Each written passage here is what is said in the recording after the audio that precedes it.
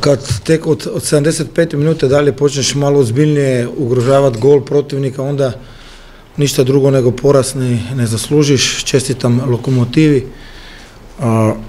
Još jedan naivan gol iz prekida uz sva upozorenja, crtanja, a, razgovore, ali rekao sam, sve ostalo je bilo loše i, i nedostojno dresa rijeke.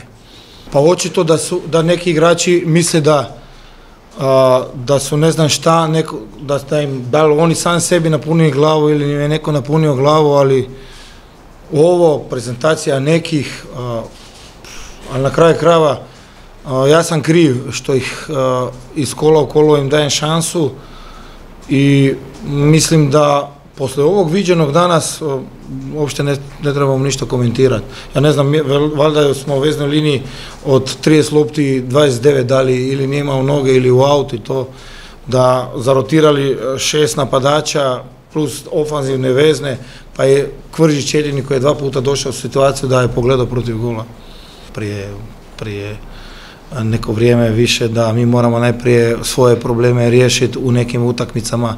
Apsolutno to nije ta rijeka koju bi svi mi željeli. Ovo još prvenstvo odigra do kraja, onda sjest na čelu sa mnom i vidiš kako dalje, jer u nekom momentu kod da nema smisla više. Osjetio je pet minuta prije početka utakmice aduktor i ušao je Raspopović, nezagrijan, i bio naš najbolji igrač.